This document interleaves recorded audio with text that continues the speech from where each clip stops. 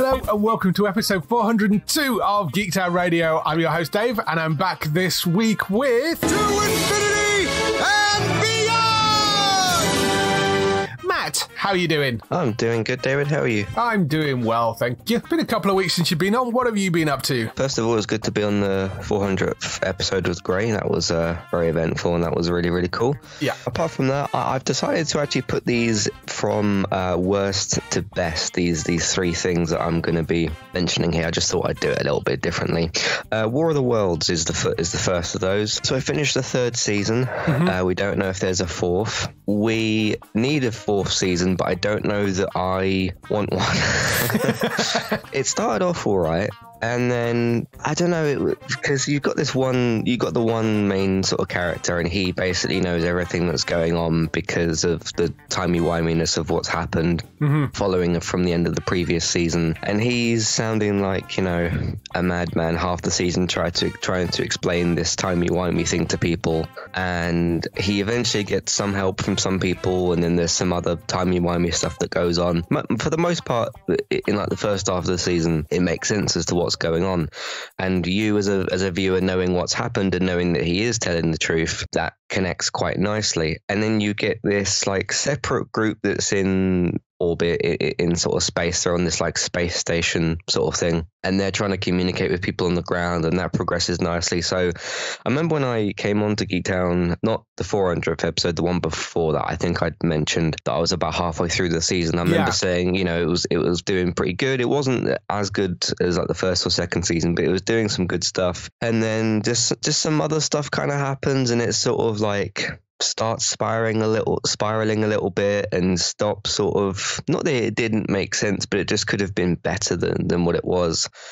And we don't know if there's a fourth season. Obviously there's all sorts of things that have happened in the world and, and whatnot. And then the season ended and it gives you these kinds of i'll call them pieces not really scenes, but sort of, well, they are scenes, but pieces of kind of this is where this character is, this is where this character is, and showing you where they are. Mm-hmm. But I wouldn't call many of them, and especially what I would call the main two scenes that they have, I wouldn't really call them endings at all. And they're kind of very sort of, hey, here's what's happening with this character. What's your interpretation of that? And- I don't mind the whole what's your interpretation style as long as there's like better sort of answers. But it's sort of, okay, I understand what's happening to these characters, but that's not really a way to take an ending for those for their stories. So it, I, I almost just want sort of like one more episode or something just to kind of, okay, definitive, definitive. And it wasn't really lo- like cancel cliffhanger type scenarios. They, they were sort of, the, these scenes are laid out in sort of, some of these characters are at peace, some of them have died and all these sorts of things. But for the actual end, and it might not be the ending, maybe they have got a full season plan. We, we um, haven't really heard a lot about it, but it's also been, I think about it. I think this was last year in June. This was that sort of clog of TV that we had last year in June. And we haven't really heard anything since then. So I can't really take it as sort of, oh yeah, that's the ending of the series. That's fine. It, it, was very much a season finale, if, if anything. And and as much as I really, really enjoyed season one and two and thought season three, if season three is very different, I don't know if I want another eight episodes. I don't know if it really needs that much. It just needs like a little end point. So have you seen this third season yet, or, or are you still, uh, I kind of know what you're saying because I sort of started with it. I mean, I really struggled to get back into it in this third. yeah, it starts off strange, doesn't it? Yeah. Yeah. And I, I just really struggled to get back into it. So I keep on forgetting it's there now. And I, you know, I've tried to sort of pick it up again and then I, I'm just not engaged with it like I was with some of the other seasons. So, um, I mean, I do sort of want to go back and, and watch the rest of it. But as you say, at the moment, we've no idea whether it's going to come back or not. It's not being cancelled or renewed right now. So, I, Mm. yeah, I don't know. Yeah. Just do like a streaming film to, for that. That's all it kind of yeah. needs, really. So, Yeah. but we'll see. Uh, again, love the first two seasons, and th- this third season isn't bad. It's just a lot different, and also just ends in a very just oh okay sort of way. So Yeah. Uh, I went to watch uh, something on ITVX. Yes, I remembered it was there, which is uh, a thing. Uh, Love and Death, which is what I, I watched, which is the Elizabeth Olsen, Jesse Plemons series uh, about a, a true story and stuff. So it's got seven episodes. Obviously, it's a limited series. It won't be coming back. And the reason I checked this out first of all was I saw, oh, Elizabeth Olsen is in a HBO or Max or whatever we're calling it at the moment. I think it was HBO Max when it actually It- it when was- this series came out. So Yeah, yeah, I, I'm Yeah. not sure whether they turned it over to Max. It was certainly HBO Max when they commissioned it. Anyway. Yeah, that was what the logo was. So I thought, oh, that that in itself, like, okay, high production. You know, HBO is still doing some good stuff, and Elizabeth Olsen, she's good and everything. Jesse Plemons, that sounds very good. And I didn't really know a whole lot about this actual true story and stuff. Um, and obviously they've adapted bits and things like that. So this is seven episodes. The shortest episode is about 50 minutes or so. Yeah. I think this could have been a film. This Yeah. was it, it was in the parts where it was good and it actually picked up the pace a little bit. It was really really good. And this isn't sort of HBO putting out something bad. It's just putting out something that had a lot more time than what it needed. Yes. And it was uh, like I got to episodes four and then five, and I was like, oh, I've still got three or so left. And then that sort of dragged things out a bit. Um, it, it was great in the moments that it was good. It just, yeah, I really just found it to be very. It didn't help, of course, because there was there was adverts and that made things a bit longer. It also didn't help to see trailers for Big Brother. so But no, that uh, never helps. Yeah, yeah. I didn't want to sign up for the whole free thing majig because I, I, I knew I wasn't going to use ITV afterwards anyway. So Right. the best thing about it is the performances, which was kind of what I was expecting. You know, you put people like Krysten Ritter, uh, Jesse Plemons, Elizabeth Olsen. They've all been on, on a number of really good things, uh, two of which, of course, on Breaking Bad, and obviously uh, Elizabeth from the MCU and some other stuff. So on an acting showcase front, it was really, really excellent. That was sort of some of what I was there for. The story itself is fine. It is pretty sort of straightforward, and it sort of goes through that, and it does tell that very well. It's just given far too much time for it. So have you seen this then? I haven't, no. I, I kind of looked at it and thought, that looks like it might be kind of interesting, but I had suspicions that it might have been one of those things that they dragged out over more episodes than it needed to be. So mm-hmm. I'd avoided it. And I, I think I read some reviews of it that were kind of middling. And I thought, well, I might go and look at it, but I, it's not really leap out at me necessarily. So, and I, like you, forget that ITVX is there sometimes. So it's rare that I actually go and click on it, which is the usual problem with these things. yeah. Last thing I finished, I finally caught up with Handmaid's Tale, the fifth season. Yes. Fourth? Fifth? Fifth, something like that. fifth, yeah. This feels like it's had 10 seasons. though, I know. Sometimes it does. It feels like so much stuff has happened.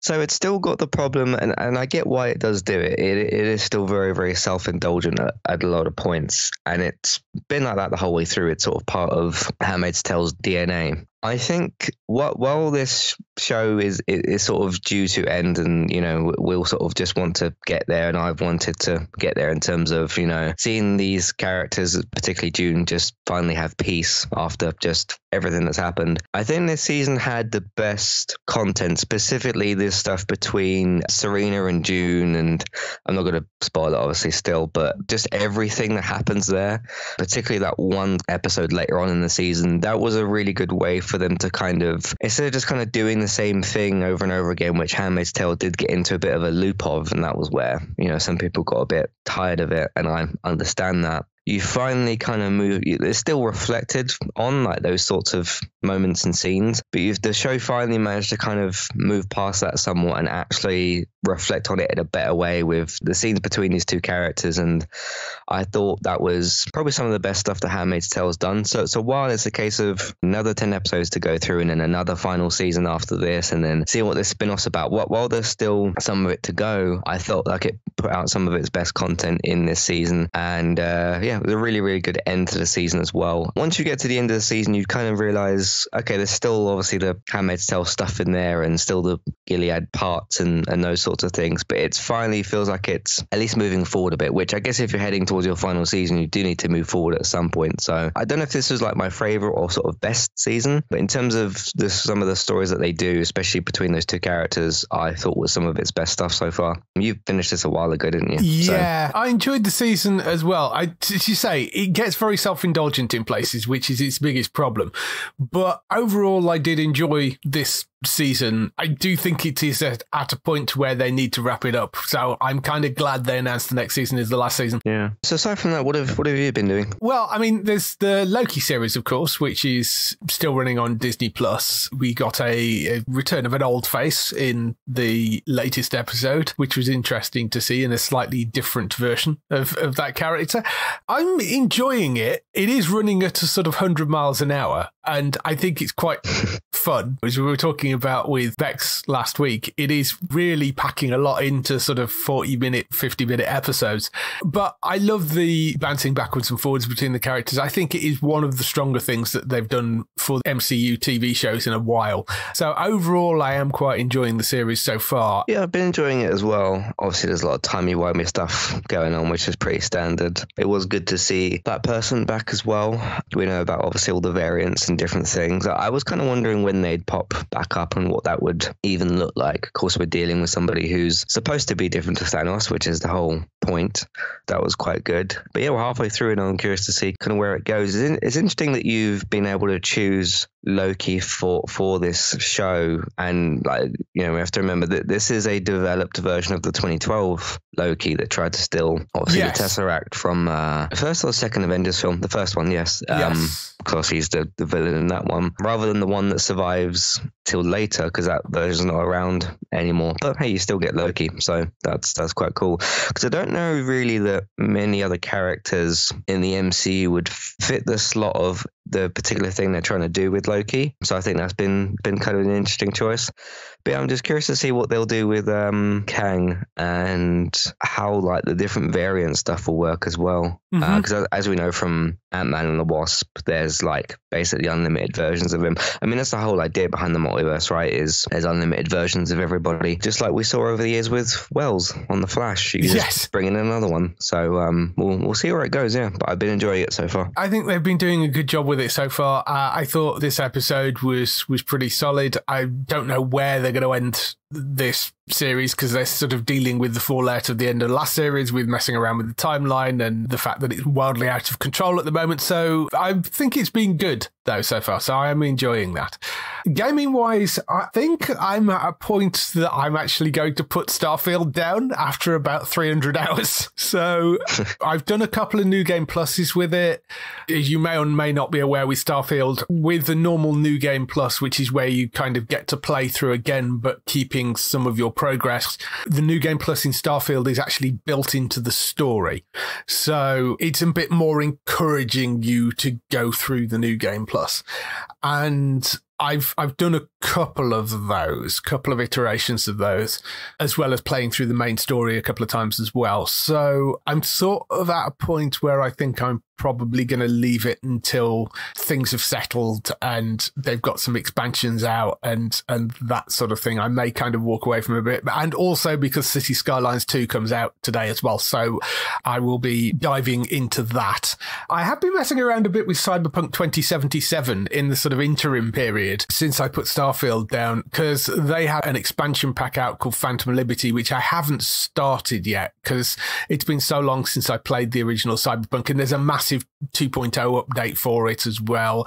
And there's been other bits and pieces. So I kind of thought, you know what, I'm just going to play through it from the start again because. That's what they recommended, actually, CD Projekt Red. Right, okay. Because I played through it once when it first came out and that was all good but I kind of left it ever since then. So I'm going kind of back into it almost completely fresh because I've forgotten a lot of the plot points and bits and pieces.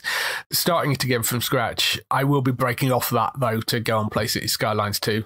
But overall, enjoying jumping back into that as well. Starfield itself, it's a great basis for a game. And there are lots of things you can do in that game. I had a lot of fun with it. But for a game that's been in development for what, almost 10 years, you kind of think this doesn't feel like they've quite finished it. There are so many dangling plot threads of things that you know you'll start you'll have a conversation with somebody. Like there's a bunch of companions which are part of constellation the explorer group that you initially join. And there are a bunch of other named companions that you can pick up along the way who are sort of secondary companions that you can use to put on your ship and help you out with things and that sort of stuff. And the secondary companions they've got lovely bits of sort of conversation you can have with those that add texture to the game. But in those conversations, they'll express sort of aspirations of the fact that they want to explore the galaxy, or they'll mention something like one guy mentions that, you know, he's got a family on a particular planet. And they sort of feel like they should lead up to little quests of that of you to go and take them with you to explore somewhere or you know in, take them to visit their family and there's no follow through on any of that and i mean the conversations are fine as sort of conversations but you sort of feel like, well, they didn't take that to its logical conclusion. And there's so many points in that game where they've not taken it to its logical conclusion. Like, I don't think it's a spoiler to say that you have companions so you can romance them and you can get married to some of them. But there is a perk that you can get for your character called Kid Stuff, which puts your parents in the game. So you get visited by your parents every so often, and you can go and visit them, and they live in this apartment. But when you get married, you can't invite the parents to the wedding. And even if you go there with your then wife afterwards, or husband afterwards, there's no way to make any reference to the fact that this is your partner, even though when you first go home, your mother asks if you've got anybody special. You know, so it's like there's just no follow through in so many of the world building. So it sort of feels like they ran out of time, which is weird given the thing has been going for like 10 years. It's not that what, what is there is bad. In fact, what is there is really good fun. I mean, I've put, as I say, almost 300 hours into it. I really, really enjoy playing what's there. It's well worth it. Go and get it. It is a great fun game. But there are points which you look at and go, that's a really odd decision that they've not finished off that thought, you know? Mm, yeah. You've not jumped into this yet, have you? I did for about a couple of hours, and I I, I, wasn't really a fan of That's right, what yeah. was there. And this does feel like another cyberpunk slash No Man's Sky, where like, okay, well, me if we come back to this in three years, it will be the finished game. Well, not really the finished game, but the full game, because I, I totally understand what you mean. And there was this things I noticed when I was playing that didn't really. They feel like the ideas was there, but didn't really feel fully sort of complete. I personally I carried on with um Lies of P after I did that, Right, yeah. which I got past a really difficult boss, which was good to do. And uh, today I'm going to start Spider-Man 2. So that's Ah, my uh, gaming side of things. So, Yes, I would play Spider Man 2, but I don't have a PS5. So, Starfield, I would recommend it as a game, but there are some really bizarre decisions in there that will had you looking at it going, why is that like that? Like, why is that done that way? That doesn't make the most logical sense. It got eight out of 10 reviews in a number of places, and people were kind of going, oh, that seems so, yeah, it should be a 10 out of 10 game. And no, I think that is fair as an 8 out of 10 game. It is by no means a bad game. It's a fun time. I very much enjoyed it. I'm also very interested to see what it looks like five years from now. you know, there is going to be a lot going on with Starfield for years to come, I suspect. But the base game is enjoyable, but it does feel like a base game. On the TV side of things, I've been watching through Cobra Rebellion, which is the um, political drama that is on Sky with Robert Carlyle in the lead role as the Prime Minister. Rebellion is the third season and it is based around the fact that the government are building this high speed rail underground and it's going through a village and there's a bunch of eco protesters that are trying to stop it and things go badly wrong at the site. That's all I'll sort of say about it at this point. I really rather enjoy what they're doing with it. It's a good, solid political thriller. It's got a great cast Robert Carlyle, Victoria Hamilton, Jane Horrocks, who is a sort of key character in this season as well. But um, yeah, good, solid drama. It is all up on Sky on demand and on now if you want to go and catch it there. But uh, that's the third season of Cobra. I started watching the Frasier revival as well, which is on on Paramount Plus, which is really interesting because I mean these revival things can go various ways. You know, um, there's a lot of shows that they've tried to uh, tried to sort of bring back. This one follows Frasier back to Boston because he was in Seattle for many many years. It's just following the death of his father, who uh, has passed away, and he's come back to Boston to sort of start a new chapter in his life, trying to reconnect with his son.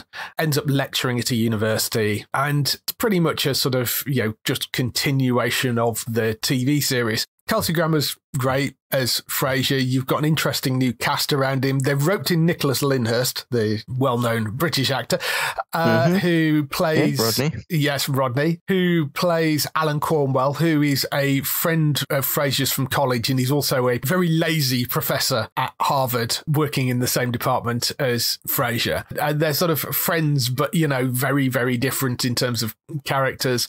You've got Tox Ogulunji, I think her name is, who is the the head of the department, who is great as well. Jake Cutmore Scott, who plays Freddie Crane, Frasier's son. Anders Keith, who plays David Crane, who is the son of Niles and Daphne. And then there's Eve, who is Freddie's friend, who is uh, who lives across the hall from them. It's sort of an interesting setup because they've not directly replaced the characters that are missing from the original show. So, like Niles' son isn't really a direct replacement of Niles, and Alan Cornwell isn't really a direct replacement of Niles, Nicholas Lyndhurst's character, which I think some people assumed that might be the role that he fills. There are elements of Niles in David Crane, Frasier's nephew, and Niles' kid, but he's not a direct carbon copy. But there are hints of him there, which you'd expect because it's Niles' child. And with Frasier's son, Freddie, who is a firefighter, there are elements of the grandfather because he sort of fits into that role. But it's not anywhere near uh, sort of identical because the dynamic is different because Frasier's the father and he's the kid. So they've done a nice job of making it sort of familiar but different, kind of massage this interesting new group around them. It's got three episodes out at the moment. I've been really quite enjoying it. There's 10 episodes in the first season. If you like the original Frasier, I think you'll probably like this as well. But I think they've done a decent job with it so far. Did you ever watch any of Frasier? Because I mean, they ran it endlessly on Channel 4 for years. Yeah, I remember coming across those. I've seen like chunks of episodes, but I've not seen it properly, you know, Mhm. from the pilot or something. I remember liking what I saw though, although it's been a long time since I sort of caught one of those reruns. Sounds kind of interesting. It's good to see, obviously, Nicholas Lyndhurst again uh, since Fools and Horses and stuff. Obviously, he's done other Uh, bits yeah. since then. Like that was a, a long time ago. But no, it sounds uh, it, it sounds good. Um, but no, I'd, obviously, if I was to jump into this, I'd rather go back from the pilot and then do it all properly. Yeah, and there's a lot of the original Frasier to get through. Uh, so How many, how many seasons were there? Was it like an eight or ten season thing? 11 seasons. Oh, And there were 24 episode seasons as well. So there's a lot to get through if you go back to the original. And I mean, if you want to really follow the character, you've got to go through the whole of Cheers before that as well, because that's where the character came from. So, I mean, it's a Oh, right. character that Kelsey Grammer has been playing for a very, very, very long time. I mean, basically his entire career. I do think they've done a decent enough job with this. It doesn't fall as flat as some of the revival things have done. Certainly, I think one to take a look at. And the other thing that I've been watching is a show called Bodies, which is on Netflix. This I've been really rather enjoying. Bodies is a crime drama with a twist. It's actually based on a graphic novel by Si Spencer, and it's got a really good cast. The setup for it there are four detectives who are in four different time periods of London, but they find themselves investigating the same murder, which is an unidentified body that lands in a particular street in Whitechapel. But in every time era, the body appears to be absolutely identical. And it's then this sort of conspiracy theory that lasts sort of 150 years. It's 1890s, 1940s, and 2010s are the sort of key time periods.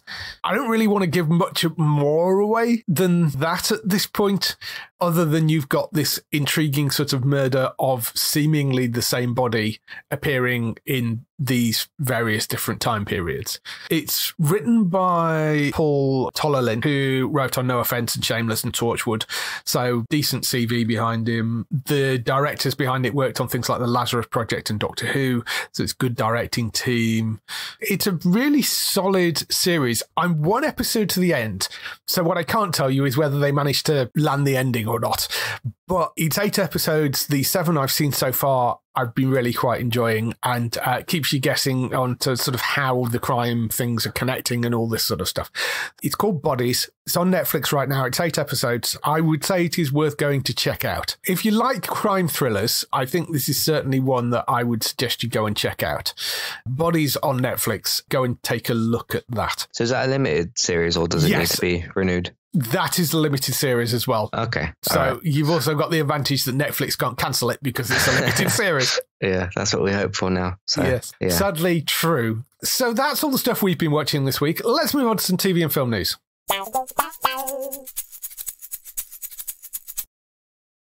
So we kick off the TV and film news with renewals, cancellations, and pickups. Elite on Netflix has been cancelled. Uh, well, ending, I think, is probably fairer because it's done eight seasons, which is fairly substantial for Netflix. It's the uh, Spanish series, but that is coming to Hmm. it's an very popular. It like, is when I extremely see people popular. talking about it, they really, really love it. yeah. But I've I've not personally jumped on it. Neither have I. Not so much cancelled as ending, I think, that it has been given a proper final season. BBC have cancelled Doctors after 23 years, which is the daytime drama slash soap slash serialized medical thing.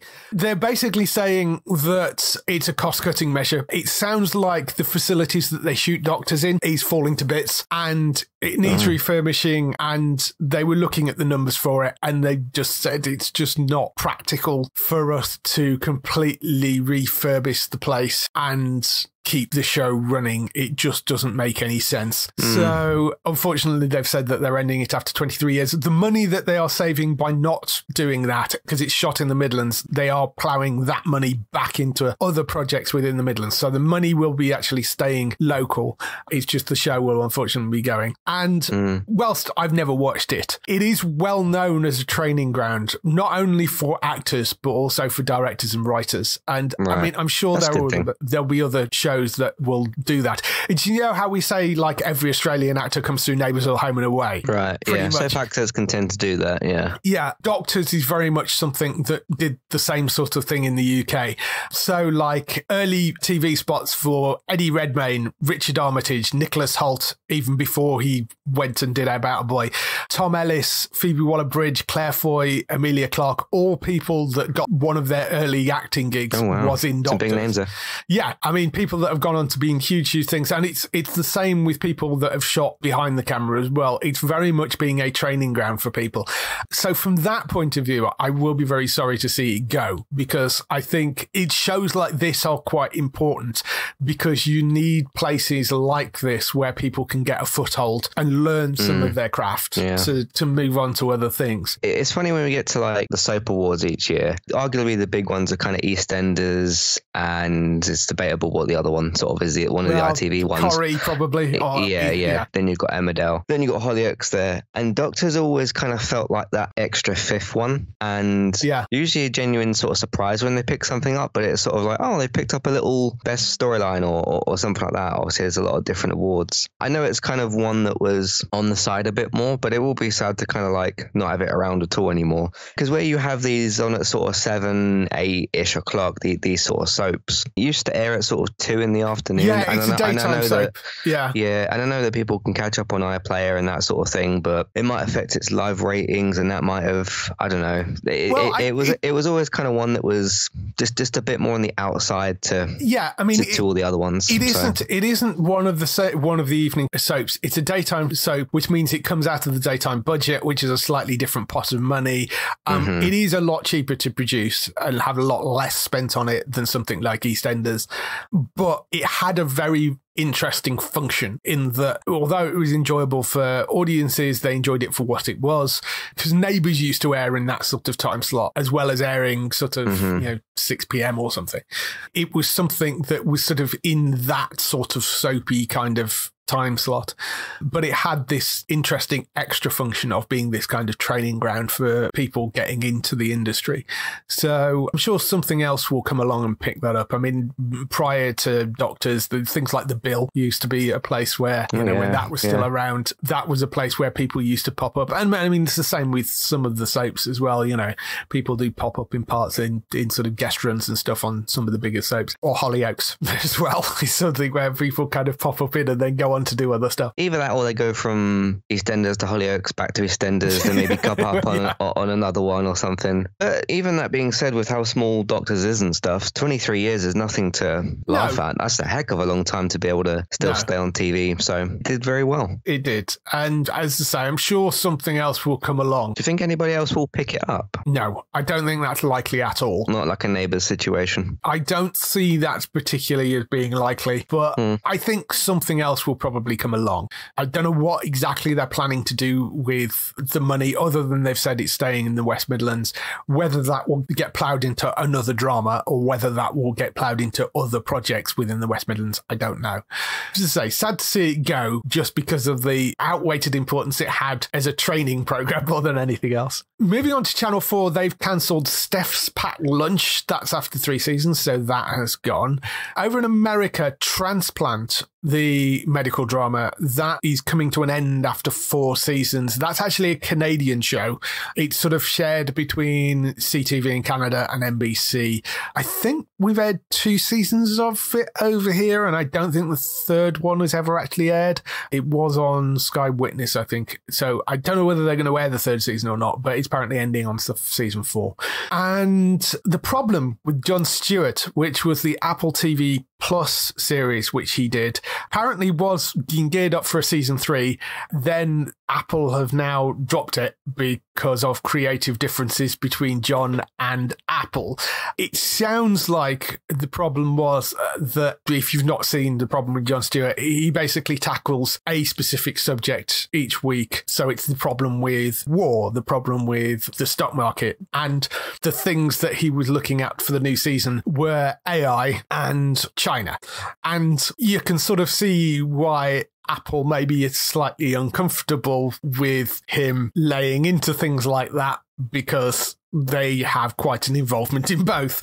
So I think the problem was that Apple were trying to overstep and trying to say, "Oh no, you can't do that," and he basically went screw you and decided Apple was probably not the best place for him.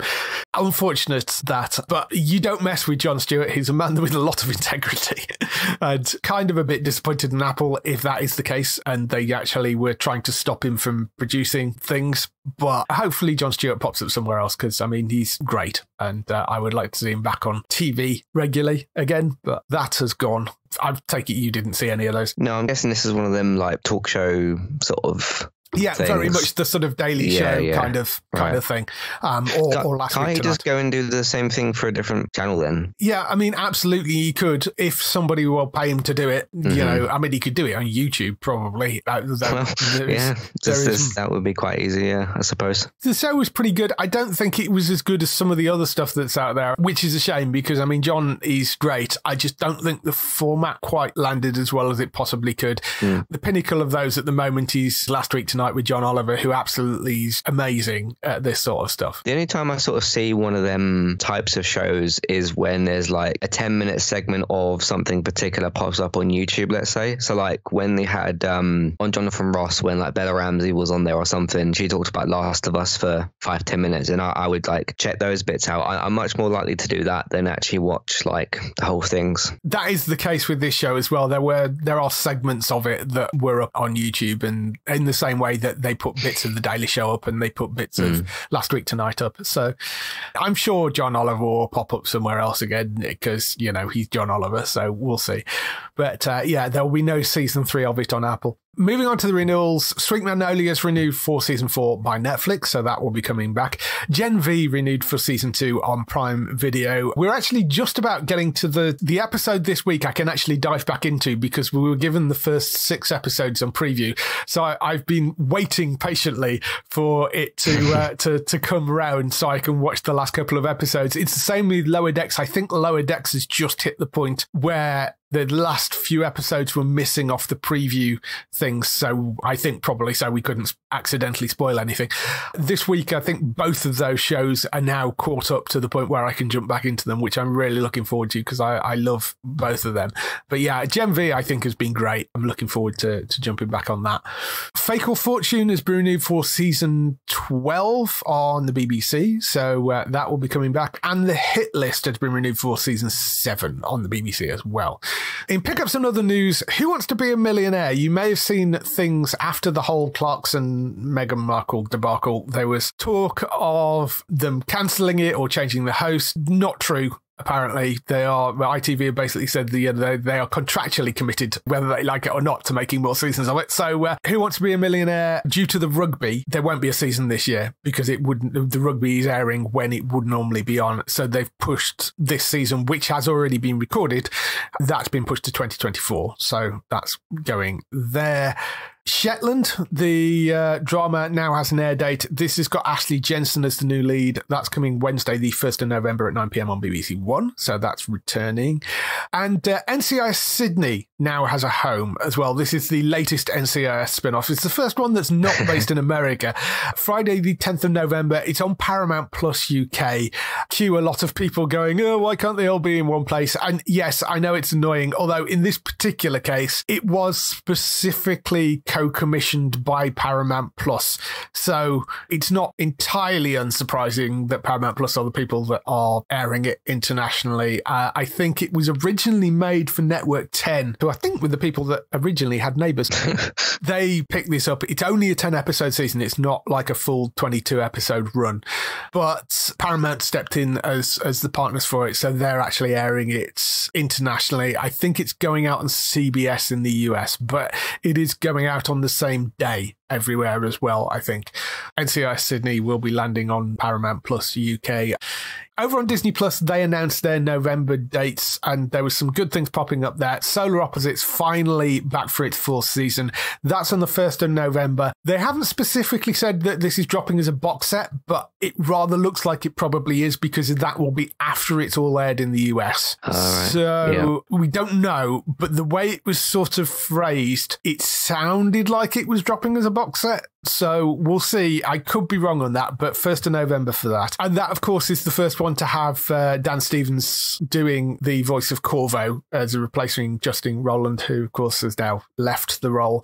Korvo now has a British accent, which, uh, unlike Rick and Morty, where they basically replaced them with sound alikes, they completely changed the voice of Korvo and basically said, yeah, he's got a British accent now. Here, whatever. so what actually happened to like he got accused of that stuff and then they parted ways. Did we have an update after that? Because I didn't. I just heard that like oh they were replacing him for these roles and then it went dead silent. It should be pointed out that no criminal charges were ever filed against him. Uh-huh for any of that stuff.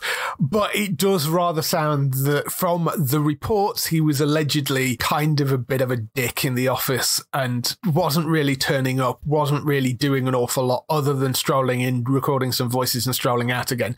In terms of the actual creative process, it sounds like, according to a lot of the reports, that they were alleging that he wasn't really there very much other than to provide the voice. So he sort of fell out with them. Yeah. And although there weren't any charges actually actually, but by that point, they'd already severed all connection with him anyway. Right, and okay. to be fair, so he'd not had really any involvement in the writing of the show for a number of years by the sounds of it. He was really only doing the voices. I mean, I don't know what will happen moving forward, but um, mm. They've done a reasonable job in finding replacements for the voices for Rick and Morty. Apparently, it was getting hammered on, I don't know, Rotten Tomatoes or something for this latest season, but I don't see why, because there's very little difference between what I saw for the opening couple of episodes. And certainly, I mean, unless you're really listening for it, you can't tell the difference in the voice. Solar Opposites, mm. Slightly different because of the fact that the voices it's Dan Stevens and he's English and he, Korvo will have an English accent. So, you know. So, Justin was doing the voices that they replaced. Mm-hmm. Dan Harmon did the writing, wasn't it? Well, yes and no. Both of them sort of set up the show. I don't think either of them have that much day to day control at mm. this point. I don't think either of them are, are actually writing that much directly. They may be, I mean, Dan may be popping up and doing bits and pieces, but I, I don't think, I mean, mean, it was alleged that Justin really had no involvement other than doing the voices at that point. Uh, Right, yeah. and I Mhm. don't think Dan had an awful lot of involvement. It's been written by a lot of other people pretty much for the last few seasons. Okay. You shouldn't really see a huge amount of difference as far as I can tell. I just kind of had wondered what happened to uh, Justin because after that news came out, like he just sort of disappeared. Keeping a low profile, I think, at the moment. Other air dates for Disney Plus American Horror Story Season 3, that now has a date of the 29th of November. I really like fell off of them shows. Like I, I relatively enjoyed that six part of season ten. Then season eleven came out, and I was like, oh okay. And then I never clicked play. And then I watched stories. That second season was just horribly bad. And then I, I knew it got renewed for a third season. And it, there sounds like some people have kind of dropped off from these shows a bit, but there is still loads of these seasons going around. So maybe I'll jump back in at one point. But I don't know. My enthusiasm for them sort of got killed a little bit in, the, in the last couple of seasons. I've seen a few people saying that they're loving season 11 or whatever it is of American Horror Story, the one that's out at the moment. They're saying Yeah, that I think it's that's 11. Been quite good. Don't know what this season will be, American Horror Stories season three, but 29th of November on Disney Plus if you want to go and check that one out. Cool. And Reservation Dogs season three, that's on the 29th of November. That's the third and final season of Reservation Dogs. That's on Disney Plus as well. Moving on to a little bit of strike news. As the SAG AFTRA strike hits, I'd hit day 100 at this point. They have announced that they are returning back to negotiations because you remember last week the um, Hollywood side walked away from the tables. The claim was that SAG wanted to, a levy on subscribers, was how they put it, of between 53 cents and 75 cents, depending on who you believe. In fact, it was probably quite a lot less than that. SAG say the number is intentionally misrepresented to the press, overstating the cost of the proposal by about 60%. So they were trying to say that basically every year that SAG Union wanted to charge 50, 60 cents per subscriber on a streaming service. And they're going, oh no, we can't afford that. That's appalling. That's terrible. Should be noted that this week Netflix just raised its prices by a pound in the UK to the basic rate and two pounds to the premium rate. And that's without the fact that they're giving any more money to the actors. So on one hand, they're going, oh no, it's terrible. We're all poor, which is complete rubbish, as we know. I'm walking away from these the negotiations saying that trying to charge customers directly to pay the actors for the content that they're creating would be a step too far. Like, I'm sorry, but these two things just don't balance at all. It's it's ridiculous. And it was the Hollywood side that walked out of those talks and like sat on them for a week or so. They are going back in and talking again. Hopefully they'll get further this time without the Hollywood producers all throwing their toys out of the pram once again. On the other potential strike as well with the video game industry, SAG have resumed talks with the video game industry to try and avoid another strike there. Because I mean, a lot of the issues with the video game industry are very similar to the issues with TV in terms of AI and image rights and all that sort of stuff. So they are talking both to the Hollywood producers and hopefully we'll get a bit more of a resolution there. And they are back talking to the game industry and that's been going on for ages. Those talks, on and off talks, but they've been off for a while. So at least they're going back. There was one other little thing that came out, which very funny. It's obviously Halloween coming up, and SAG-AFTRA issued some guidance on Halloween costumes, telling actors not to wear costumes that are from Struck Productions. So going out wearing a Netflix Witcher costume, say, or a Deadpool costume from the movie, something like that. Mm-hmm. Ryan Reynolds then tweeted out, I look forward to screaming scab at my eight year old all night. She's not in a union, but she needs to learn. Which SAG later clarified that they're only issuing this rule against actors and not their children. I'd hope so. children can wear whatever they like. What they're basically saying is don't wear costumes for shows that they're striking against, basically, and because it would be seen as promotion if you take photos and post them on social media and all that sort of stuff. I love Ryan Reynolds and I love that tweet, and it, it's hilarious. Corporate greed's a nasty, nasty thing. Yes. I've seen greed from all different sides of the industry, whether it's TV, films, football, obviously. Don't get me started on that. But uh, it's gotten particularly obviously worse since the whole. I mean, AI has been around for obviously a long time, but this recent kind of thing with it. I saw some footage, by the way, put together. I don't know how real or fake it actually was, and it, it wasn't like major important. And it kind of had this mock up kind of thing of we went back to do Stranger Things season five with AI, and not from writing, but from the actor's point of view, this is what it would look like. and it just looked like a video game that was in extremely early production or something. Right. And it's like, no, you can't do that. no one's no one's going to watch that. At the end of the day, hopefully actors get fair pay. That's what we want and need. Yeah. Um, it's literally what some people need because obviously to be able to live and do what they do. As I said, corporate greed is just a nasty thing, and it's a shame that it's gotten this far. Really. Yeah, streaming is the bigger problem at the moment, Mhm. and it's those that are. It's, it's the same with the writers. It's those that are holding things up, and it's those that are causing problems because the contracts were made prior to streaming basically becoming as dominant as it has, and it's the fact that you know we were talking about 24 episode seasons with like Frasier, and the latest season, which is on streaming, is 10 episodes. That massive reduction in the number of episodes obviously has an effect on how much money the actors can make. So you've got a lot of these issues coming to the fore, not just in the fact that they're ordering less episodes, the way the residuals are split for streaming isn't fair, and it's all that sort of stuff that they're trying to work out. So we'll see where they get to this time around, but at least they are talking again, which is good. Moving on to some other news stories, there was a couple of uh, interesting new shows that have been ordered. One of them is for NBC in America, so doesn't have a UK date yet, but it, I thought it sounded kind of interesting, particularly if you like medical drama. It's based around the story of the late neurologist Oliver Sacks, whose name you might not know, but you may be aware of some of his work.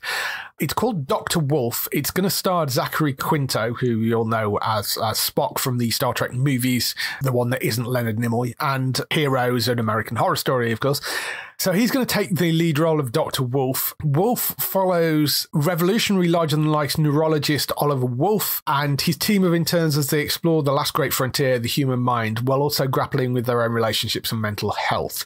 It's based on a series of books that were written by the real life neurologist Oliver Sacks called The Man Who Mistook His Wife for a Hat and an anthropologist on Mars. Oliver Sacks passed away in 2015 at the age of 82, but he's described by the New York Times as the poet laureate of medicine. He wrote about various conditions that were incredibly misunderstood at the time, things like Tourette's syndrome, aphasia, autism, those sort of things, and became the godfather of what is now known as neurodiversity. He was also the author of the book Awakenings, which actually followed his genuine real life work on this strange case of finding a bunch of people who were in frozen states unable to initiate movement. And he found a way of waking them up. And this became the basis for Awakenings, the movie, which got Oscar nominated, which starred Robert De Niro and Robin Williams, which is a beautiful and brilliant film if you've never seen it.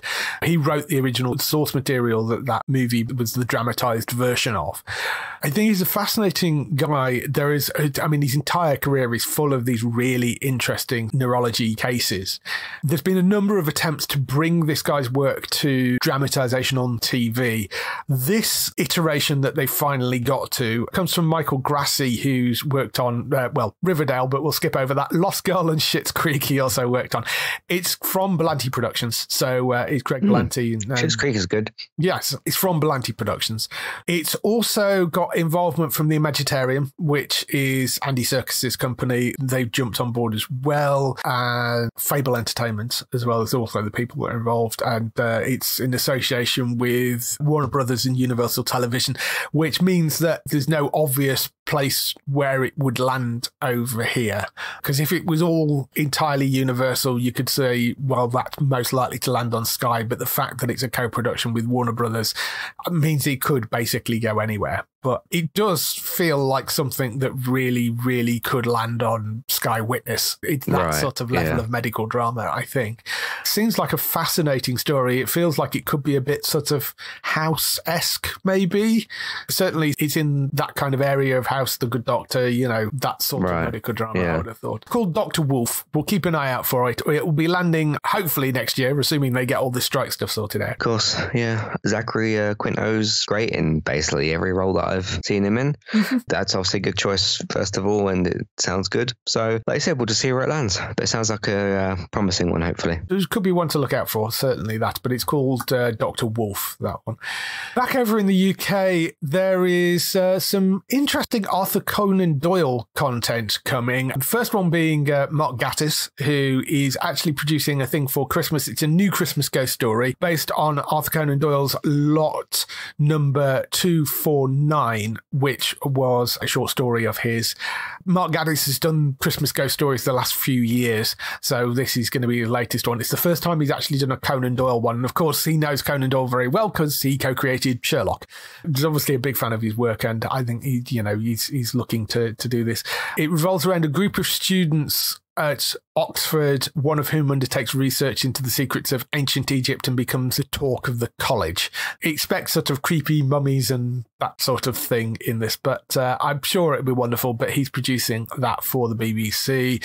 It's going to be starring Kit Harington of Game of Thrones and Eternals fame, and uh, Freddie Fox, who you might know from Slow Horses. I think he's also in House of the Dragon and The Crown as well.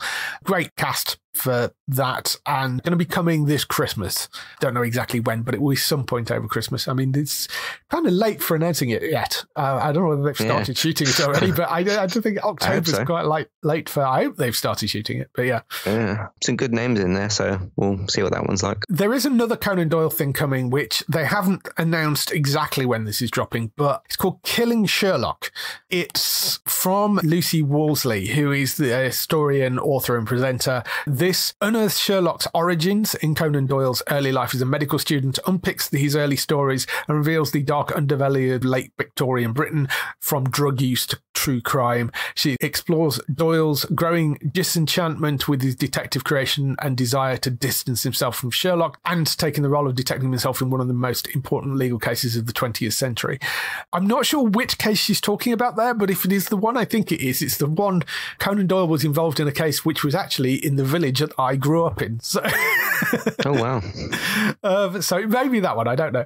But I think that sounds like it's kind of interesting. Certainly, if you're a Sherlock Holmes fan, that's going to be called Killing Sherlock. Lots of sort of background about the story between sort of Conan Doyle and Sherlock is going to be quite interesting. Don't know exactly when that's landing yet, but it's it's going to be made for the BBC at some point in the future. So, a couple of interesting Conan Doyle things there for you. hmm yeah, certainly. That's everything we've got this week. Just some time for some highlights for next week on TV. So, highlights for next week. We have What We Do in the Shadows returning for its fifth season. That's on 25th of October. That will be back on Disney Plus. A League of Their Own season 18. That comes to Sky Max on the 25th of October at 9 p.m.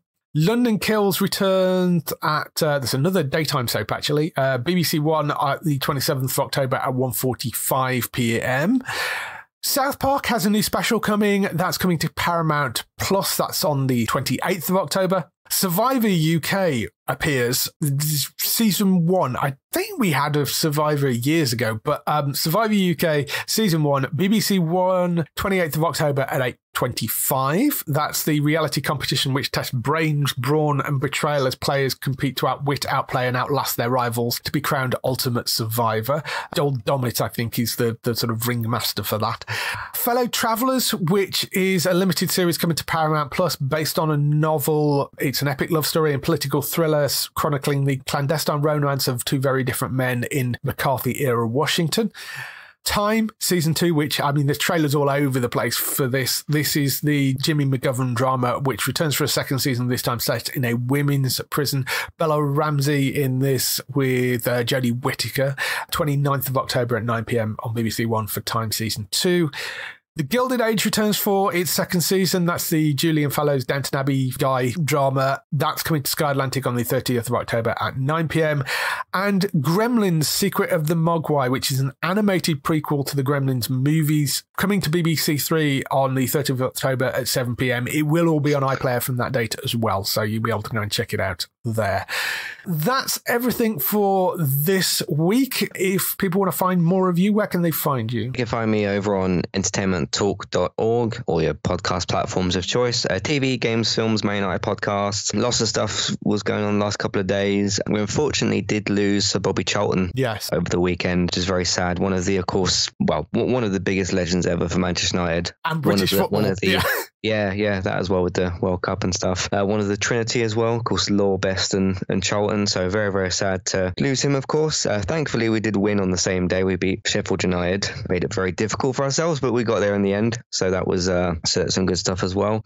Did a whole bunch of stuff over the weekend. I did a, a Disney podcast talking about their live action stuff. I did a Pixar podcast talking about what's going on with them. I talked about Netflix because they've raised their prices and posed the question of what is Netflix offering us. I reviewed the David Beckham documentary, which was very, very good. Good sort of nostalgic look back at those glorious 90s era and all the treble and all that kind of stuff. The only treble that an English team has won. Um, so got that going on.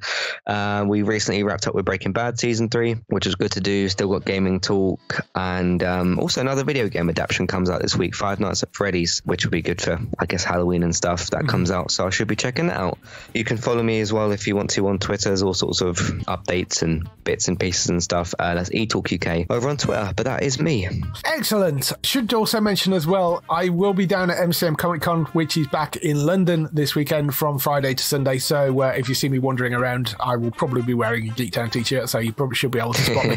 Um, but uh, Nice. yeah, I will be around uh, MCM over the weekend, so uh, you can go and find me there. For other people involved in the show, you can find Bex at twitch.tv forward slash Trista Bytes. That's B Y T E S. She's uh, streaming every week over on her Twitch channel. Go and check her out. She's very, very funny over on there. And Daryl, you can find at HollywoodNorthNews.net for all the TV series you love, which are shot in Canada. For us, you can go to the website at geektown.co.uk throughout the week and see the latest air date information. If you want to get in touch with your questions or comments, email us on podcast at geektown.co.uk. Leave a message on the website post. Find us at Geektown on X or Twitter. On Facebook at facebook.com forward slash geektown. On YouTube at youtube.com forward slash geektown. On Blue Sky at Geektown. On Instagram at Geektown UK. On TikTok at Geektown UK. And on Threads at Geektown UK. That is everything. We shall see you next week. Bye bye. Goodbye.